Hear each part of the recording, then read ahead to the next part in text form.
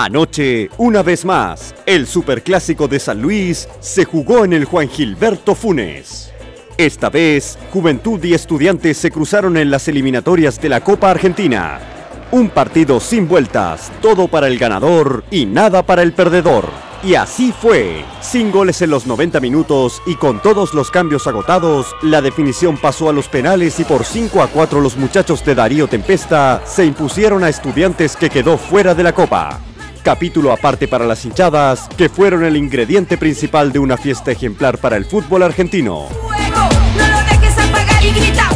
Emocionante por lo que es el clásico y por lo que es una instancia de eliminación, ¿no? Esto, esto termina siendo más importante que un partido de liga, porque el partido de liga tiene la revancha. Esto es uno sigue y uno queda, así que uno siempre tiene esperanza que va a hacer las cosas bien y bueno, gracias a Dios tuvimos la suerte de ganar un partido que lo teníamos que haber ganado en el, juego, ¿no? porque si uno analiza las situaciones, no recuerdo una vez que haya partido estudiante al arco, contra las 6, 7 que tuvimos nosotros muy claras. Pero bueno, gracias a Dios que tuvimos la fortuna poder ganarlo. Totalmente injusto no ganar este partido, pues fuimos un equipo, ellos patearon para arriba nada más.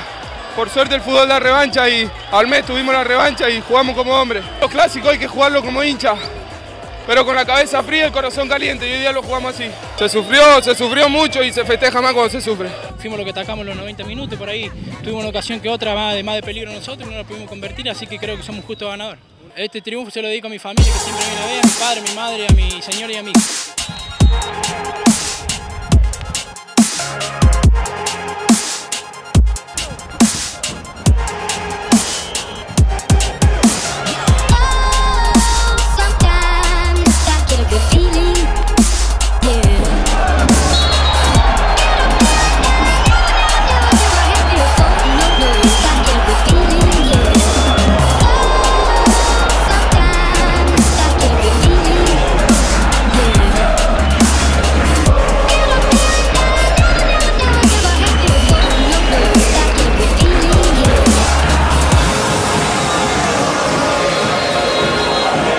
Se nos abrió el arco y la verdad que teníamos la chance en los penales, eh, gracias a Dios eh, pudimos definirlo, así que muy contento con, este triunfo.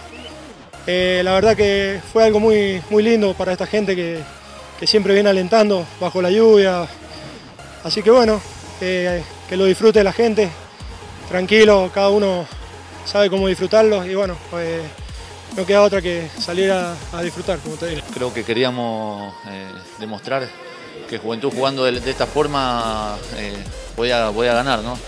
Si bien hicimos un buen juego por abajo, ellos se metieron atrás, tratamos de crear mucho espacio.